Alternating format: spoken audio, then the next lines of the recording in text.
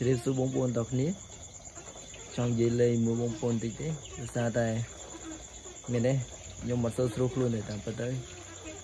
អឺដោយសារតែត្រូវទឹកភ្លៀងមួយថ្ងៃហ្នឹងផ្ដាសាយផ្ដាសាយហើយអឺអត់សូវស្រួលខ្លួនឈឺក្បាលហើយឈឺកកប៉ុន្តែដូចតែបងប្អូនដឹងថាយើងចិញ្ចឹមសត្វចិញ្ចឹមមន់ចិញ្ចឹមទាទៅបើថាយើងឈឺមិនក៏ត្រូវតែមកអើតវាដែរ ចេះទៅគ្រាន់តែចង់ប្រាប់បងប្អូនថាចំមន់ចំទាគឺពិបាកបែបហ្នឹងឯងទោះបីថាយើងរវល់ប៉ុណ្ណាយើងឈឺប៉ុណ្ណាក៏យើងត្រូវតែឆ្លៀតមកមើលវាដែរហើយគ្រាន់តែពេលដែលមកហ្នឹងយើងត្រូវពាក់ម៉ាស់ពាក់ស្រួលបួលទៅដើម្បីកុំឲ្យឆ្លងទៅមន់ទៅទាហ្នឹងហើយគ្រាន់តែចែករំលែកទៅបងប្អូនថាបើបងប្អូនជ្រុលថាតាំងចិត្តចិញ្ចឹមហើយតលតែបែបហ្នឹងគ្មានពេលសម្រាប់ខ្លួនឯងឈឺទេដូចខ្ញុំនេះចឹងតាមពិត បើមែនទេបើធ្វើការរតីត្រូវសុំច្បាប់ហើយប៉ុន្តែដល់ពេលយើងចាំមន់ចាំទីយើងខ្លាចទៅវាឈឺវាអីចឹងទៅឥឡូវម៉ោង10ជាងហើយខ្ញុំចេញមកពីធ្វើការមកម៉ោង7ជាងមកដល់ផ្ទះម៉ោងខ្ទង់8ខ្ញុំអត់បានញ៉ាំបាយទេរហូតដល់ម៉ោងប្រហែលអឺ8កន្លះបានទៅញ៉ាំបាយហើយគេងលើក្រេរហូតប៉ុន្តែដល់ពេល គេងហើយបញ្ចប់ការងារបន្តិចបន្តួចដែលនៅសល់បន្តមកគេអត់លក់ទេដោយសារតែយើងនឹកឃើញថាមិនតាន់បានឲ្យចំណីមន់ចំណីទាចឹងទៅក៏អឺរៀបនឹងចំនឹងគេងហើយក៏មកមើលមន់មើលទាចឹងក្រោយចង់ចែករំលែកដល់បងប្អូនថាពេលដែលយើងចំពូវាវាពិបាកចឹងឯងវាអត់ស្រួលទេ ទៅបើថាយើងឈឺមួយមកក៏ត្រូវឲ្យឆ្លៀតមើលវាដែរបើមិនចឹងទេអាយើងឈឺហើយវាឈឺដែរធ្ងន់កហ្មងបើតែយើងឈឺជុំគ្នាទៅអស់លុយលីងហ្មងចាកន្លែងនេះជាកន្លែងតូចតូចរបស់ខ្ញុំពេលថ្ងៃឡើងអឺបងប្អូនប្រកាសជាមើលឃើញច្រើនអាធំធំវាចេញមកស៊ីជាមួយដែរតែប៉ុន្តែតូចតូចវានៅដលៃអាធំធំវានៅដលៃបងប្អូនមើលឃើញអានោះ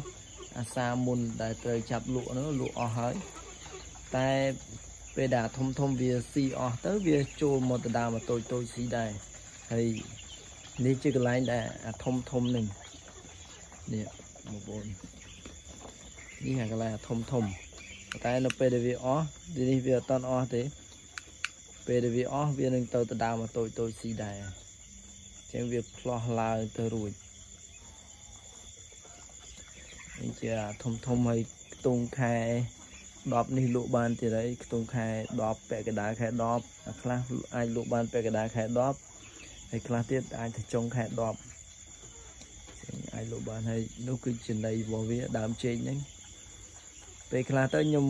ទៅយកចោសូឡាពេលខ្លះអត់បានទៅយកចោសូឡាយើងឲ្យស៊ីដើមចេកទៅដើមចេកហាន់ទៅហើយបុកជាមួយនឹង បុកឲ្យលាយជាមួយនឹងពោតជាមួយនឹងអីទៅចំណីអីទៅនេះសម្រាប់អឺទីស៊ីពេលដែលយើងអត់បានទៅហើយមួយទៀតព្យាយាមបញ្ជានៅការចំណាយឧទាហរណ៍ទៅបើយើងអត់មានភារកិច្ចអីទេយើងជិះទៅយកទៅចោសូឡាខ្ញុំនឹងអត់ទៅឯពូយើងគិតមើលទៅយើងជិះទៅមកវាអស់កន្លះលីត្រឯដែរជាងអស់ពី3000ដែរជាងយើងទៅតែ2 3ព្រឹកទៅឃើញបាទលុយ4 5000 10000នេះទៅអញ្ចឹងអ្វីដែលរੂបានជុំវិញផ្ទះងាយងាយអានេះបានយកឲ្យស៊ីហើយអាមួយក្រុមនេះគឺជាទាតូចតូចទាតូចតូចក៏ត្រូវស៊ីដែរយប់ឡើងហ្នឹង